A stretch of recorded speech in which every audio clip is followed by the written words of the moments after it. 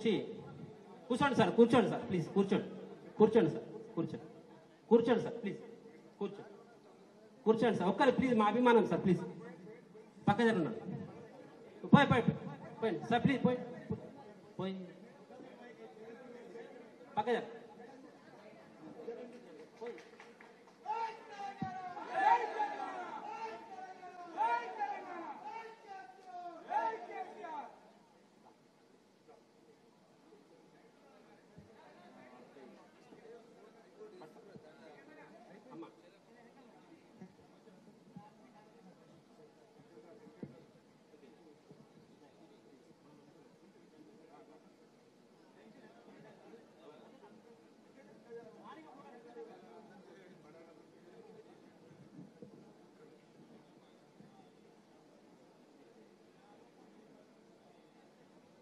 Thank you sir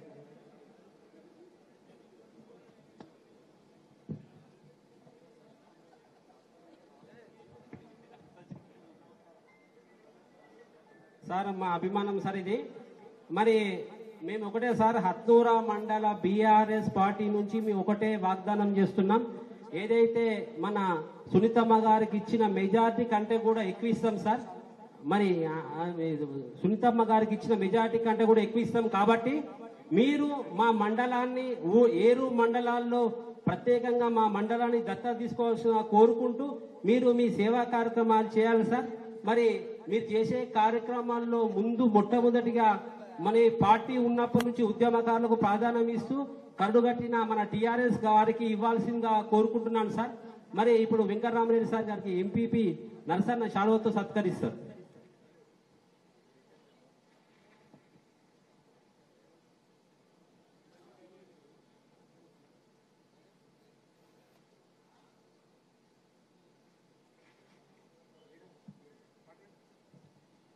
ఇప్పుడు MLA సునీతమ్మ గారికి నరసింహారెడ్డి సార్ శాల్వాతో సత్కరించాల్సిందిగా కోరుతా ఉన్నాం. ఇస్తామమ్మా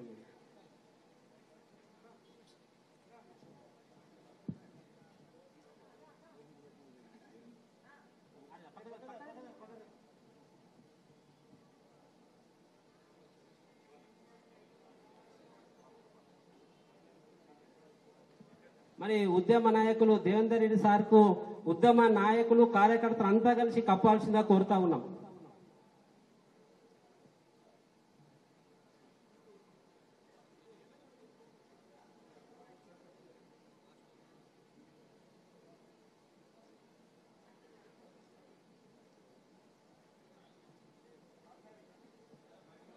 ఇప్పుడు మన హత్నూరా మండల బీఆర్ఎస్ కుటుంబ సభ్యులను ఉద్దేశించి మాట్లాడాల్సిందిగా మన వెంకటరామరెడ్డి సార్ గారిని మాట్లాడు కోరుతా ఉన్నాం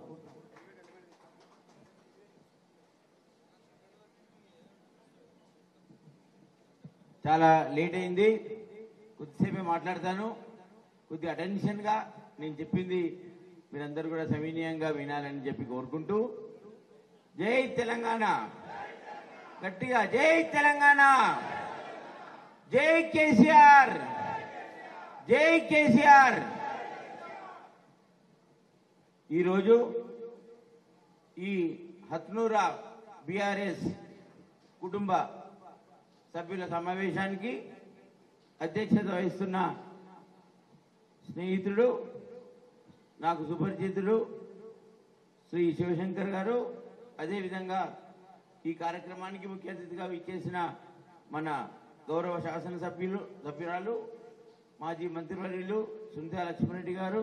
అదేవిధంగా ఈ మండల అత్నూర మండల పార్టీ అధ్యక్షులు నరసింహులు గారు పెద్దలు ఎక్స్ చైర్మన్ శ్రీ గౌరవనీయులు దేవేందర్ రెడ్డి గారు మన మాజీ గ్రంథాలయ సమితి అధ్యక్షులు చంద్రగౌడ్ గారు సీనియర్ నాయకులు నాకు రెండు వేల రెండు సంవత్సరం నుంచి కూడా చాలా సుపరిచితులు పెద్దలు శ్రీ దామోదర్ రెడ్డి గారు అదేవిధంగా నాకు వెన్నంటే ఉండి నాకు అన్ని సూచనలు నర్సాపూర్ అసెంబ్లీ ఎలక్షన్ అప్పుడు ఇచ్చిన మా సింగాయపల్లి గోపన్న గారికి అదేవిధంగా నా సుపరిచితుడు ఎంపీపీ శివంపేట హరికృష్ణ గారికి అదేవిధంగా రవికుమార్ వైస్ ఎంపీపీ గారికి నరసింహారెడ్డి గారికి సీనియర్ నాయకులు అదేవిధంగా వేదిక మీద ఉన్న అందరు నాయకులకు కొంతమందికి నేను ఇంకా అందరికి చెప్పలేను కొంతమందరికి కూడా మీ అందరికి కూడా అన్యత భావించద్దు మీ అందరికి కూడా పేరు పేరున ఈ కార్యక్రమానికి నాకు అనుమతి ఇచ్చిన మీ అందరికీ. అదేవిధంగా అత్నూరా ఎక్స్ సర్పంచ్లకు ఎంపీ ఎంపీటీసీలకు మన నాయకులందరికీ కూడా పార్టీ కార్యకర్తలకు పత్రికా విలేకరులకు ఎలక్ట్రానిక్ మీడియాకి అందరికీ కూడా నమస్కారం. అయితే చాలా లేట్ అయింది. ముఖ్యంగా నా గురించి ఇక్కడ ఆల్రెడీ గోపన్న మాట్లాడినరు మన పెద్దలు చంద్రగౌడ్ గారు మాట్లాడినరు సభ మాట్లాడిన వాళ్ళందరూ కూడా మన దేవేంద్ర రెడ్డి అన్న మాట్లాడినరు కాబట్టి నేను ఎక్కువ ఇక్కడ చెప్పదలుచుకోలేదు. ఒక్క విషయం. ఏదైతే నన్ను బీఆర్ఎస్ అభ్యర్థిగా ఇవాళ మీ ముందు వచ్చాను చాలా సంతోషకరమైన విషయం ఏంటంటే మొన్న నర్సాపూర్ అసెంబ్లీ ఎలక్షన్లో ఇక్కడ ఇన్ఛార్జ్గా రావడం మళ్ళీ నేను మీ అందరితో పాటు ఎలక్షన్లో మీ అందరి సూచనల మేరకి సమిష్టిగా మనం పనిచేసి ఇవాళ మన శాసనసభ్యురాల్ని మనం ఘన విజయం సాధించినాం. ఆ క్రమంలో నేను మళ్ళీ ఇవాళ పార్లమెంట్ అభ్యర్థిగా మీ ముందు రావడం నా కొరకు నేను ఎన్ని ఓట్లు అడగ అడిగే అవకాశం నాకు మళ్ళీ ఇవాళ పార్టీ ఇచ్చినందుకు మీ అందరికి కూడా ధన్యవాదాలు తెలుపుతా ఉన్నా. అయితే నేను ఇక్కడే పనిచేసి ఇక్కడ నివాసినై ఉండి మీకు ఇవాళ బీఆర్ఎస్ పార్టీ అభ్యర్థిగా అయినందుకు రెండు విషయాలు చెప్తాను. నేను అభ్యర్థిగా ఉన్నందుకు అదనంగా అంటే ఎంపీగా నేను చేయాల్సిన బాధ్యత ఏందనేది నాకు నేను గుర్తించుకుంటూ నాకు ఈ బాధ్యత ఉందని చెప్పి మీ అందరికి కూడా సవినీయంగా తెలియజేస్తాను. అదేవిధంగా నేను ఒక ఐఏఎస్ ఆఫీసర్గా జిల్లా కలెక్టర్ అనుభవంతో ఏం చేయగలుగుతాను అనేది కూడా నేను చెప్పినప్పుడే మీ ద్వారా ఈ బీఆర్ఎస్ అత్నూరా కుటుంబ సభ్యుల ద్వారా ప్రతి గ్రామంలో ప్రతి పోలింగ్ స్టేషన్లో ప్రతి కుటుంబంలో చర్చ జరిగి నా మీద ఒక నిర్ణయం తీసుకొని నాకు మీ అందరి సహకారంతో మీరందరి తోడ్పాటుతో నాకు మొన్న మన మన అసెంబ్లీ ఎలక్షన్లో వచ్చిన ఓట్ల కన్నా ఎక్కువ శాతం ఓట్లు వస్తాయని గట్టి విశ్వాసం ఉంది నాకు ఇక్కడ.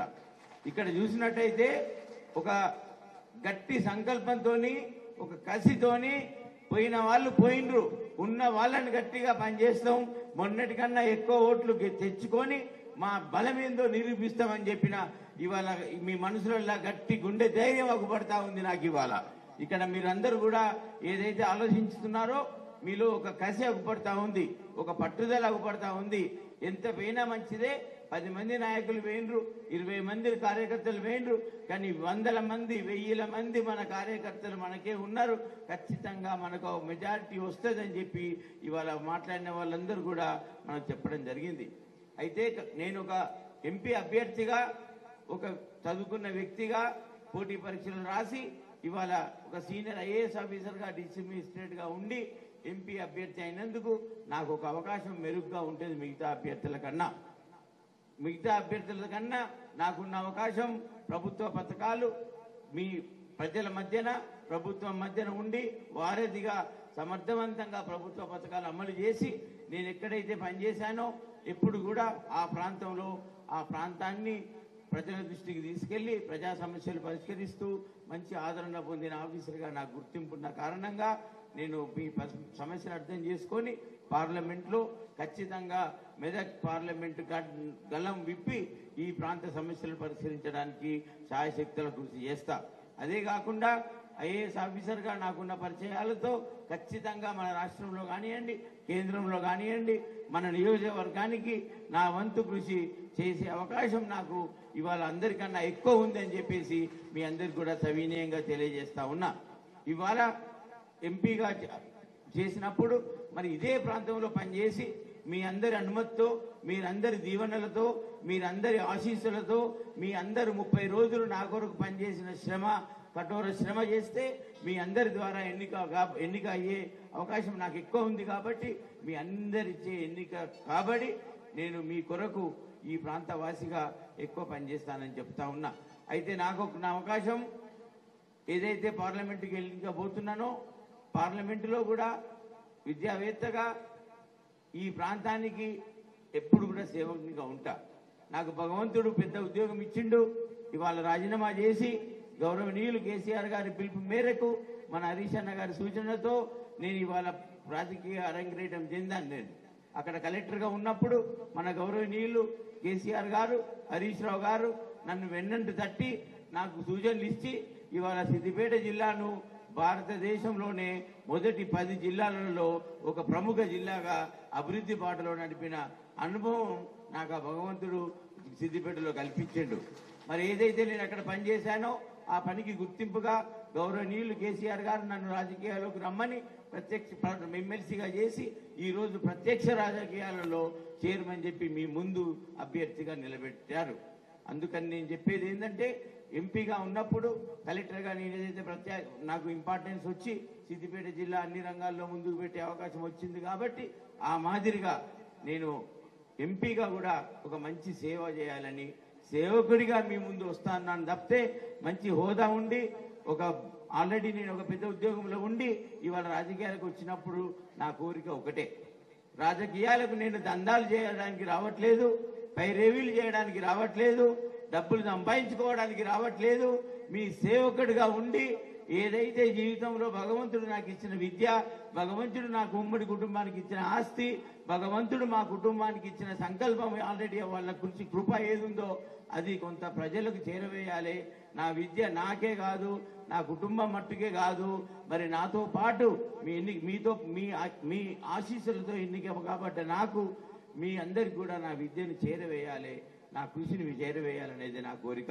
అందుకొరకని చెప్పి నేను రెండు కార్యక్రమాలతో ముందుకు వస్తా ఉన్నా.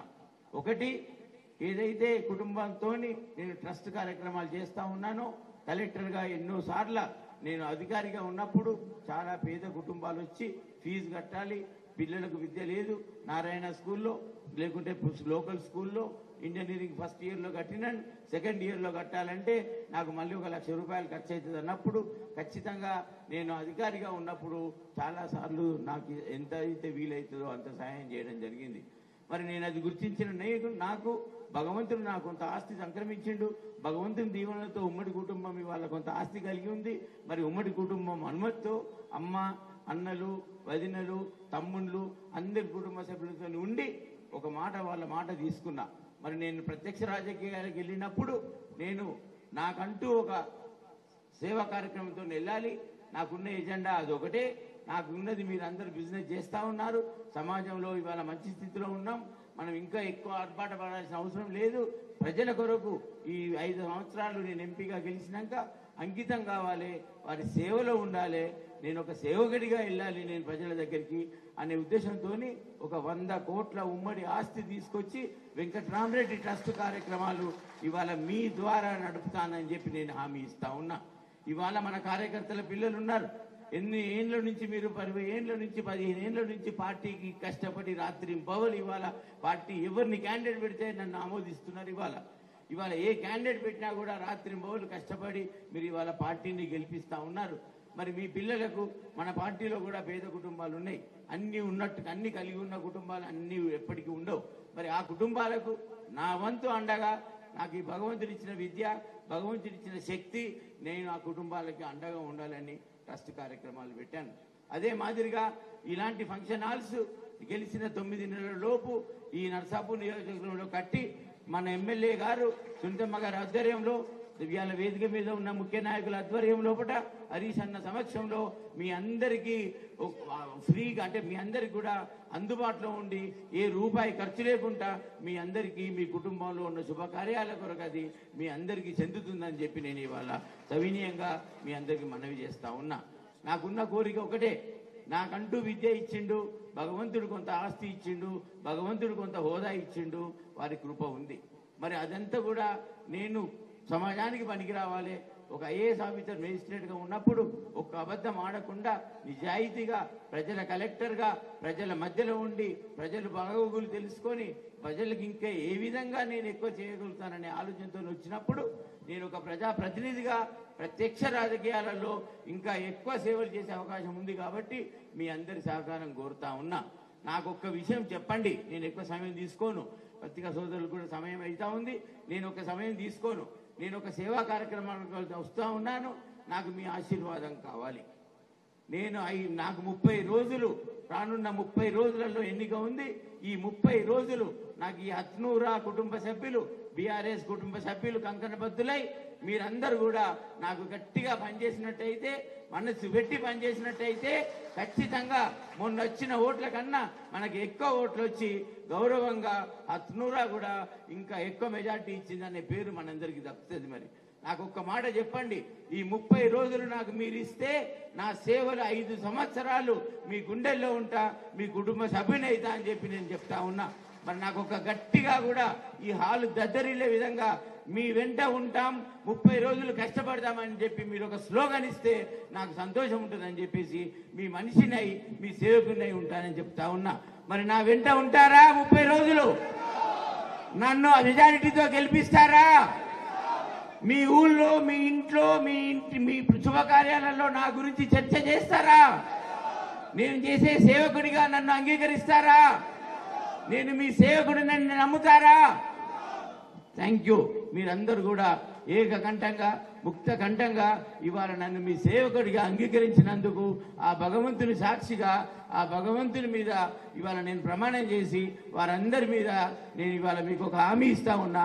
నేనైతే ఏదైతే వాగ్దానాలు చేసి ఏదైతే ప్రామిసులు చేసి ఏదైతే ప్రమాణం చేసి మీకు చెప్తా ఉన్నానో అవన్నీ కూడా ఒక విద్యావంతునిగా ఒక మెజిస్ట్రేట్గా ఆలోచించి ఎవ్వి చేయగలుగుతానో అవే నేను మీ ముందు ఉంచా నేను ఇవాళ చెప్పానో అవన్నీ కూడా ట్రస్ట్ ఒక నెల రోజుల్లోపు ఫంక్షనాలు తొమ్మిది నెలల లోపు మన విద్యార్థులకు కోచింగ్ సెంటర్లే కానీ అన్ని కూడా మీకు అందుబాటులో పెడతానని చెప్పి మీ అందరికి కూడా సవినీయంగా మనవి చేస్తా ఉన్నా.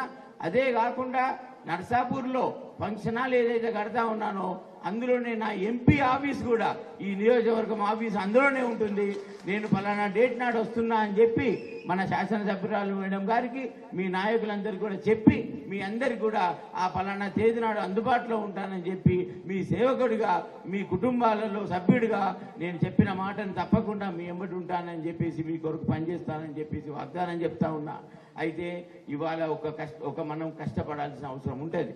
మొన్నటి ఎలక్షన్లో ప్రభుత్వంలో ఉండి ప్రభుత్వం వస్తుందని మనం కొట్లాడినప్పుడు మనకి ఇక్కడ మూడు వేల ఎనిమిది వందల ఓట్ల మెజార్టీ వచ్చింది. మరి ఇవాళ ప్రభుత్వంలో లేవు. మరి కరడు కట్టిన కార్యకర్తలు ఉన్నారు. ఇంకా కసిగా పనిచేయాలి. ఎక్కువ మన కాంగ్రెస్ ప్రభుత్వం విఫలమైంది. ప్రజలు మన దిక్కు చూస్తా ఉన్నారు. అయ్యో తప్పైందని అనుకుంటున్నారు. మరి ఈ చర్చ అందరి దగ్గరికి పోవాలి. వెంకటరామరెడ్డి అంటే ఒక సేవకుడిగా నన్ను తీసుకెళ్ళండి. నా జన్మాంతరం మీకు రుణపడి ఉంటానని చెప్పి మీ అందరికీ హామీ ఇస్తూ నాకు అవకాశం ఇవ్వాల్సిందిగా నా కొరకు ముప్పై రోజులు కంకణబద్దులై ఉండాల్సిందిగా కోరుతూ మీ అందరి అనుమతి ఉందని చెప్పి సంతోషంగా నేను ఈ అప- ఈ- ఈ అవకాశం ఇచ్చిన వేదికకు ధన్యవాదాలు తెలుపుతా ఉన్నా. Thank you sir thank you so much వంద కోట్లు వెచ్చించిన మీకు ఆ దేవుడు వంద సంవత్సరాలు సంపూర్ణ ఆయురారోగ్యతో ఇచ్చి మీకు లక్ష కోట్లు ప్రసరించాలని చెప్పి మనస్ఫూర్తిగా కోరుకుంటున్నాం సార్. ఎందుకంటే మీకు ఎంత డబ్బు ఉంటే అంత మంది ఉంటే అందరికీ చేతికి రాదు. సార్ అట్లే మీరు మాట మాటలు మర్చిపోయింది సార్. మా హత్నూర మండలము లీడ్ ఇచ్చిన ఒక గ్రామాన్ని దత్తత తీసుకోవాలన్నారు. కాబట్టి తీసుకుంటారని చెప్పేసి మేము ఆ సభాముఖంగా విజ్ఞప్తి చేస్తాం సార్. అంటే హత్నూర మండలంలో ఎక్కువ వచ్చిన ఏ గ్రామ పంచాయతీ ఆ గ్రామ పంచాయతీ మీ దత్తత తీసుకోవాలి సార్. అలాగే మరి ఇంకోటి ఏంటంటే సార్ మేము మేము ప్రతిరోజు ఎవ్వరు పోయినా అమ్మ దగ్గరికి ఒకటే వంద మంది వెయ్యి మంది పోయినా మనకు వెంకటరామరెడ్డి మనం రుణం తీర్చుకోవాలి వెంకటరామరెడ్డి అన్నకు మనం రుణం తీర్చుకోవాలి.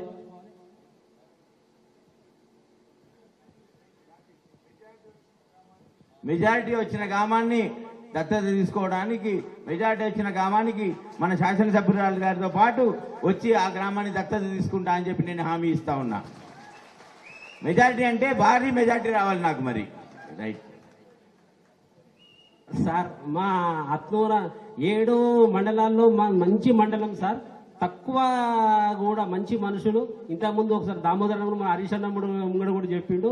మంచి సహృదయం మంచి మనసున్న నాయకులు కార్యకర్తలు ప్రజలు కూడా సార్. తెలియజేస్తూ thank you sir thank you so much మరి మేము ప్రతిరోజు ఏం చేస్తున్నామంటే చాలా మంది ఎవరు పోయినా సునీతమ్మ కూడా చెప్తుంది అన్న మన కష్టపడ్డాడు మన కష్టపడి అన్న రుణం తీర్చుకోవాలి.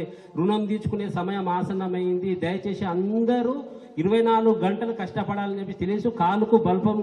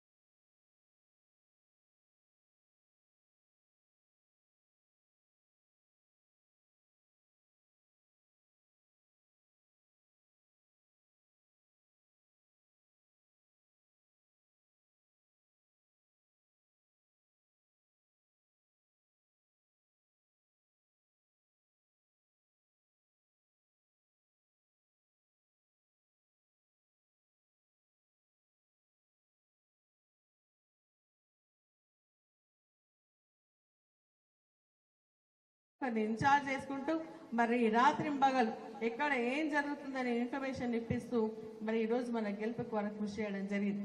మరి ఈరోజు వారు మనకు బీఆర్ఎస్ పార్టీ ఎంపీ అభ్యర్థిగా మనకి ఇక్కడికి రావడం జరిగింది. కాబట్టి వారిని గెలిపించుకోవాల్సినటువంటి బాధ్యత మనందరిపైన ఉంది. ఒక మంచి నాయకుడు మరి అధికారిగా మంచి సేవలు అందించడం జరిగింది. మరి అదేవిధంగా కష్టజీవి డబ్బులు ఉన్నాయి కదా నేను ఒక అధికారంలో ఊదలు ఉన్నాను కదా అని చెప్పేసి ఎప్పుడు కూడా ఇంట్లో కూర్చోలే కష్టపడి ఏదైతే పని కేసీఆర్ గారు అప్పచెప్పడం జరిగిందో దాన్ని నిర్విఘ్నంగా విజయవంతం చేయాలన్న ఆలోచనతో రాత్రి బహుళ కష్టపడేటువంటి కష్టజీవి. అదేవిధంగా సేవా దృక్పథం ఉన్నటువంటి వ్యక్తి. ఎందుకంటే ఇప్పుడే వారు చెప్పడం జరిగింది ఎవరికైనా ఏదైనా కష్టం వస్తే కలెక్టర్గా ఉన్నప్పుడు వారు ఆదరించడం జరిగింది.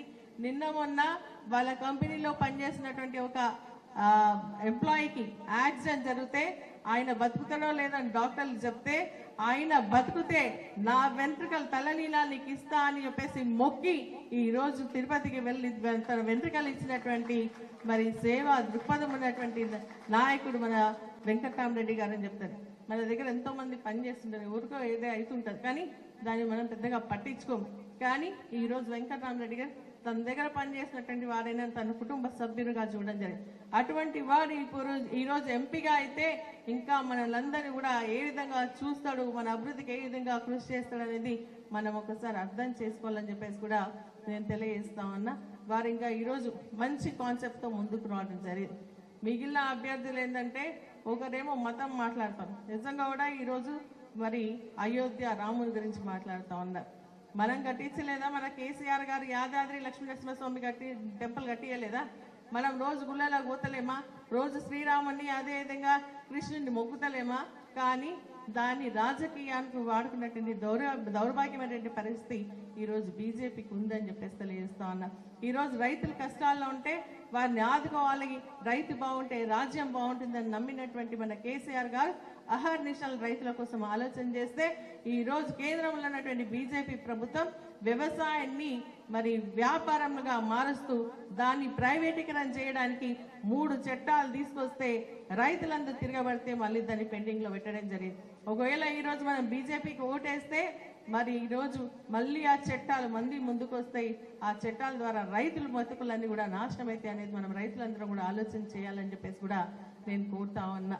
మరి అదే విధంగా మనకి ఇంకా కాంగ్రెస్ పార్టీ కాంగ్రెస్ పార్టీ గురించి మనందరికీ తెలిసిందే. ఇచ్చినటువంటి హామీలన్నీ కూడా తుంగలో దొక్కేసిండ్రు మరి ఎన్నికల కంటే ముందు ఆరు గ్యారంటీలు అన్నారు. మరి అదే విధంగా నాలుగు వందల ఇరవై హామీలు ఇవ్వడం జరిగింది. ఈరోజు ఆరు గ్యారంటీలకు దిక్కులేదు. నాలుగు వందల హా- ఇరవై హామీలు అయితే అసలే మర్చిపోయి. మళ్ళీ పార్లమెంట్ ఎన్నికలు వస్తే మళ్ళీ అదేవిధంగా పాంచ్ పాంచ్ ఏమంటారు? పాంచ్ న్యాయ్ పచ్చీస్ గ్యారంటీ అంట మళ్ళీ ఐదు ఆమె ఆరు హామీలకే దిక్కులేదంటే ఇంకొక ఇరవై ఐదు ఆమెలు ఇస్తేందుకు వచ్చింది. మనం గమనించాలి. ఈ రోజు రైతులకు ఇరవై నాలుగు గంటల కరెంటు మన కేసీఆర్ గారు ఇచ్చిందా లేదా? ఈ రోజు అదే విధంగా కరెంట్ వస్తుందా మనకు గ్రామాల్లో? కరెంట్ వస్తలే. కేసీఆర్ గారు కాలి ముహూర్తాన ఒక్క గుంట భూమి కూడా మనకు ఎండిపోలే. పది సంవత్సరాల్లో ఎక్కడైనా రైతు పంట ఎండిపోయింది అని చెప్పేసి చెప్పిండ్రా ఎక్కడా లేదు. మరి అదే విధంగా ఈ రోజు అతివృష్టి అనావృష్టి ద్వారా వడగండ్ల వర్షం పడితే కూడా నా రైతుల్ని ఆదుకోవాలనే ఒక ఆలోచనతో ఎకరాకు పదివేల రూపాయలు ఇచ్చినటువంటి నాయకుడు మన కేసీఆర్ గారు రైతు పక్షపాతి అని చెప్పేసి నేను తెలియజేస్తా ఉన్నా. ఈ రోజు ఏంటంటే మనకు అక్కడ పంటలన్నీ ఎండిపోతా ఉన్నాయి. ట్రాన్స్ఫార్మర్స్ పది సంవత్సరాలు ఒక్క ట్రాన్స్ఫార్మర్ అయినా కాలిపోయిందా? ఒక్క ట్రాన్స్ఫార్మర్ కాలగలి ఒక్క మోటార్ కాలిపోలేదు కానీ కాంగ్రెస్ పార్టీ అధికారంలోకి వచ్చిన ఈ నాలుగు నెలల్లో ట్రాన్స్ఫార్మర్స్ గాలిపోతున్నాయి మోటార్లు గాలిపోతున్నాయి పంటలు ఎండిపోతున్నాయి. అయినా కూడా ఒక్క కాంగ్రెస్ నాయకుడైనా వచ్చి అయ్యో రైతురా మీ పంటలు ఎండిపోతా ఉన్నాయా? మరి మేము మీకు నష్టపరిహారం ఇస్తామని చెప్పేసి ఒక్కరన్న గ్రామాలకు వచ్చిందా మీరు ఒక్కసారి ఆలోచన చేయాలని చెప్పేసి కోరుతా ఉన్నా. మేము ఈ సభా వేదిక ద్వారా మరి డిమాండ్ చేస్తా ఉన్నాను కాంగ్రెస్ పార్టీని. ఆ రోజు కేసీఆర్ గారు పదివేలు ఇస్తే పదిహేను వేలు ఇవ్వాలని చెప్పేసి రేవంత్ రెడ్డి గారు చెప్పడం జరిగింది. మేము ఈరోజు అడుగుతా ఉన్నాం ధరలు పెరుగుతా ఉన్నాయి పెట్టుబడి పెరుగుతా ఉంది నష్టం ఎక్కువ జరుగుతా ఉంది కాబట్టి ఎకరాకు నష్టపోయినటువంటి రైతుకు ఇరవై ఐదు వేల రూపాయలు ఇచ్చి ఆదుకోవాలని చెప్పేసి ఈ సభ ద్వారా నేను ప్రభుత్వానికి డిమాండ్ చేస్తా ఉన్నా. మరి అదేవిధంగా చాలా కార్యక్రమాలు వాళ్ళు చెప్పిన ఒక్కటి నెరవేర్చలేదు. మరి తొమ్మిదో తారీఖున మేము అధికారంలోకి వస్తున్నాం. మేము ఇమీడియట్గా రాగానే రెండు లక్షల రూపాయలు రుణమాఫీ చేస్తామన్నా. మనకు వచ్చింది ఎవరికైనా? రుణమాఫీ రాలేదు. ఇంకా ఏం చెప్పిండ్రు మీకు రుణమాఫీ ఒకవేళ అయిపోయి ఉంటే మళ్ళీ పోయి బ్యాంకులకు పోయి రెండు లక్షలు తెచ్చుకోండి మాఫీ చేస్తామన్నారు. అది మోసం. మరి ఇంతవరకు దగా చేసిన ఫెయిల్ అయిపోయినది చేయడానికి. మరి అదేవిధంగా మన కేసీఆర్ గారు రైతుల గురించి ఆలోచన చేసి ఏ రాష్ట్రంలోని విధంగా రైతులకు పెట్టుబడి సహాయం అందిస్తే ఈ రోజు ఆ పెట్టుబడి సహాయం ఎనిమిది వేలు ఇచ్చి పదివేలు ఇచ్చి పన్నెండు వేలు చేస్తామని చెప్పేసి అనుకున్నటువంటి టైంలో మరి దాన్ని డబ్బులు జమ చేసిన తర్వాత రైతు ఖాతాల్లో వేసే టైంలో ఆపింది కాంగ్రెస్ పార్టీ. మేము వచ్చినాక పదిహేను వేలు ఇస్తామని చెప్పేసి ఇంతవరకు కూడా రైతులకు రైతు భరోసా ఇయ్యలేదని చెప్పేసి కూడా నేను తెలియజేస్తా ఉన్నా. మేము అధికారంలోకి రాగానే పండించినటువంటి ధాన్యానికి ఐదు వందల రూపాయల బోనస్ ఇస్తామన్నారు. వచ్చినాయా మనకు బోనస్. పోయిన పంట పోయింది ఇప్పుడు కూడా మళ్ళీ కొనుగోలు కేంద్రాలు వస్తున్నాయి బోనస్ లేదు ఏం లేదు. కాబట్టి ఉట్టి మాటలు చెప్పి మరి అదేవిధంగా గ్యాస్ గ్యాస్ ఐదు వందల రూపాయలకి ఇస్తామని చెప్పేసి చెప్పి ఆర్భాటంగా కార్యక్రమాలు చేసి ఈ రోజు మొత్తం గ్యాస్ పైసలు పడితే మా గ్యాస్ పైసలు కట్టిన తర్వాత మనకు సబ్సిడీ ఇస్తానని బ్యాంకులు ఇస్తామని. ఒకరికైనా పడిందా? ఒకరికి వెళ్ళి మరి అదేవిధంగా మనకి వృద్ధాప వృద్ధాప్య పెన్- పెన్షన్స్. మనకి రెండు వేలు ఉన్నటువంటి పెన్షన్ మేము నాలుగు వేలు చేస్తామని చెప్పి కానీ ఉన్న పెన్షన్స్ అన్ని కూడా బంద్ చేసేటువంటి పరిస్థితి ఈరోజు వస్తా ఉంది. మరి ఒక నెల పెన్షన్ కూడా ఎగ్గొట్టడం జరిగిందని చెప్పేసి కూడా నేను తెలియజేస్తా ఉన్నా. మరి రెండు వందల రూపాయల యూనిట్ గ్యాస్ కరెంట్ అది కూడా ఆర్భాటంగా ప్రారంభించిన ఎన్నికలు వస్తున్నాయి అని చెప్పేసి జీరో బిల్లులని ఇల్లు ఇంటికి తిరిగి స్లిప్పులు వంచిన కాంగ్రెస్ పెట్టాలి ఇప్పుడు మళ్ళీ అధికారులు ఏమడుగుతా ఉన్నారంటే పోయినసారి బిల్లు ఈసారి బిల్లు మొత్తం కలిపి కట్టండి. ఎందుకంటే ఎలక్షన్ కోడ్ వచ్చింది కాబట్టి జీరో బిల్లు లేవని చెప్పేసి మళ్ళీ ఇల్లు తిరుగుతా ఉన్నారు. ఇంటింటికి తిరిగి ఏదైతే జీరో బిల్లు ఇచ్చినటువంటి నాయకులని ఈ రోజు తిప్పి కొట్టి వాళ్ళని తిరగకుండా చేయాల్సినటువంటి బాధ్యత ఈ రోజు ప్రజలదని చెప్పేసి కూడా నేను తెలియజేస్తా ఉన్నా. కాబట్టి ప్ర- ఇటు కేంద్రంలో ఉన్నటువంటి బీజేపీ ప్రభుత్వం రాష్ట్రంలో ఉన్నటువంటి మన కాంగ్రెస్ ప్రభుత్వం. రెండు రెండు అయిపోయినాయి. ఇప్పుడు చంద్రబాబు చెప్పినట్టుగా బడే బాయ్ చోట బాయ్ అంటే వాళ్ళిద్దరు ఒకటే. ఇద్దరు కూడా కలయికతో ప్రజల్ని మోసం చేయాలన్న ఆలోచనతో ఉన్నారు. కాబట్టి కేసీఆర్ గారు చేసినటువంటి మంచి పనులను గుర్తు పెట్టుకుందాం మన ప్రజలకు తెలియజేద్దాం. వెంకట్రామరెడ్డి గారి మంచితనం గురించి చెప్దాం. వారికి చేసేటువంటి కార్యక్రమాలు. ఈరోజు నిరుద్యోగ యువత కూడా మేము అధికారంలోకి రాగానే మరి నోటి నోటిఫికేషన్స్ ఇస్తామని ఇంతవరకు ఒక నోటిఫికేషన్ లేదు. కానీ కేసీఆర్ గారు ఇచ్చినటువంటి నోటిఫికేషన్ ద్వారా మరి ఎవరైతే జాబ్స్ తీసుకోవడం జరిగిందో వారందరి కూడా ఇరవై ఏడు వేల మందికి ఆ రోజు కాంగ్రెస్ మన టిఆర్ఎస్ పార్టీ ఇస్తే వీళ్ళేమో పంచి ఏ ముఖ్యమంత్రి ఏ రాష్ట్రంలో కూడా జాబ్కు సంబంధించినటువంటి ఆర్డర్స్ పంచలేదు. ఈ ముఖ్యమంత్రి నుంచి ఎందుకంటే ఆయన చేయలేదు. మళ్ళీ అడుగుతారని చెప్పేసి దానిలో లెక్కల ఖాతాలు వేసుకోవడానికి ఇరవై ఏడు వేలు మేము ఇస్తున్నామని చెప్పేసి చెప్పడం జరుగుతుంది సో ఈ విధంగా ఇటు రైతుల్ని మోసం చేసిండ్రు అటు యువతులను మోసం మరి నిరుద్యోగ యువత కూడా మరి నిరుద్యోగ వృత్తిస్తాం అన్నారు అది బంద్ అయిపోయింది. మహిళలకు గ్యాస్ ఫ్రీ అన్నారు అది బంద్ అయిపోయింది. మరి రైతుల జనాలకు ప్రజలకు సంబంధించినటువంటి కరెంటు కూడా మోసం చేసినారు ఈ విధంగా మోసపూరితమైనటువంటి మాటలు చెప్తున్నటువంటి కాంగ్రెస్ పార్టీకి మనం ఓట్లు వేస్తే మళ్ళీ మన కష్టాలు ఇంకా కూడా ఎక్కువైతాయి కాబట్టి మీరు ఆలోచన చేసి ఈరోజు రైతులందరూ కూడా బాధపడతా ఉన్నారు. కేసీఆర్ గారు ఉన్నప్పుడే మాకు బాగుంది అని చెప్తా ఉన్నారు. కాబట్టి రైతులందరూ కూడా మళ్ళీ ఈరోజు కాంగ్రెస్ కానీ బీజేపీకి ఓటేటువంటి పరిస్థితి లేదు కాబట్టి మన కార్యకర్తలుగా మళ్ళీ వాళ్ళని మన బీఆర్ఎస్ పార్టీకి ఓటేసే విధంగా మంచి మనసు ఉన్నటువంటి మన వెంకటరామరెడ్డి గారికి కారు గుర్తు కోట్లేసి గెలిపించే విధంగా మనం చేయాలని చెప్పేసి కూడా నేను తెలియజేస్తా ఉన్నా. మనకు మొన్న వచ్చినటువంటి మెజారిటీ కంటే కూడా రెట్టింపు మెజర్. ఏ గ్రామంలో కార్యకర్తలు ఆ గ్రామంలో గట్టిగా కష్టపడితే మరి అనుకున్న కంటే ఎక్కువ మెజారిటీ కూడా వస్తుందని చెప్పేసి కూడా తెలియజేస్తూ మీకు అన్ని వేళలా అందుబాటులో ఉంటాం. అన్న కూడా పాపం గత మూడు నాలుగు రోజుల నుంచి ఇక్కడనే ఉండి ఈ మీటింగ్ సక్సెస్ చేయడానికి వారు కృషి చేయడం జరుగుతుంది. వారితో పాటు మన ఎంపీపీ గారు కానీ కిషోర్ గారు కానీ ఇంకా మన వీళ్ళందరూ కూడా మరి దామోదర్ గారు మరి చాలా మంది కూడా ఈ యొక్క మీటింగ్ సక్సెస్ చేయడానికి కృషి చేయడం జరుగుతుంది. నరసింహులు గారు చెప్పినట్టుగా కొన్ని ఇబ్బందులు ఉన్నాయి. కొన్ని కొన్ని ప్లేసెస్లో గ్యాప్స్ వస్తున్నాయి. వాటన్నిటిని కూడా ఫిల్ చేసుకుందాం. ఎవరు అన్యత భావించదు. ఎవరు కూడా బాధపడాల్సినటువంటి అవసరం లేదు. ఇది మన కుటుంబ సమస్య. మన కుటుంబంలో ఉన్నటువంటి ఈ సమస్యను పరిష్కరించడానికి మనందరం కలిసికట్టుగా ముందుకెళ్దామని చెప్పేసి కూడా నేను తెలియజేస్తూ మన మీరందరు మంచి మనసుతోని మీరు ఆశీర్వదిస్తారు మీరు దీవిస్తారు. ప్రజల ఆశీర్వాదం కూడా దీవెనలు కూడా వెంకటరామరెడ్డి పైన ఉండి వారు ఎంపీగా గెలిచే విధంగా మనమందరం కూడా కంకణబద్ధమై ముందుకెళ్దాం. మన భుజ సంద్రాలపైన ఈ జెండాను మోస్తాం. ఈ యొక్క మన మెదక్ జిల్లా అంటేనే మరి కేసీఆర్ గారి అడ్డా అంటాం. ఆ విధంగా ఈ జెండాను రెపరెపలాడే విధంగా చేస్తామని చెప్పేసి కూడా మీ అందరికీ తెలియజేస్తూ ఈ మీటింగ్ సక్సెస్ కావడానికి సహకరించినటువంటి మరి కృషి చేసినటువంటి ప్రతి ఒక్కరికి కూడా పేరు పేరున హృదయపూర్వక ధన్యవాదాలు తెలియజేస్తూ